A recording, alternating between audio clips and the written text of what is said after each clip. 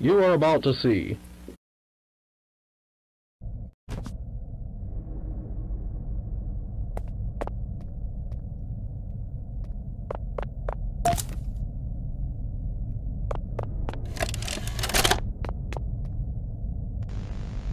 Hi, my name is Leith Pierre, and I'm the head of innovation here at the Playtime Co. Toy Factory. If you're seeing this, then you're trespassing. Yeah, we play this little tape on loop whenever we close the factory for the day. So, trespasser, just to make you aware, while we pride ourselves primarily on our high quality toys and excellent child care, we also pride ourselves on our security. For example, this facility is full of hidden motion triggers, which, once set off, will turn on the factory's emergency alarms and directly contact the authorities. And that's one of the more tame aspects of our security system. No spoilers. So, you've got my warning. It's not too late to turn around. I just hope that you're certain whatever you're doing is working.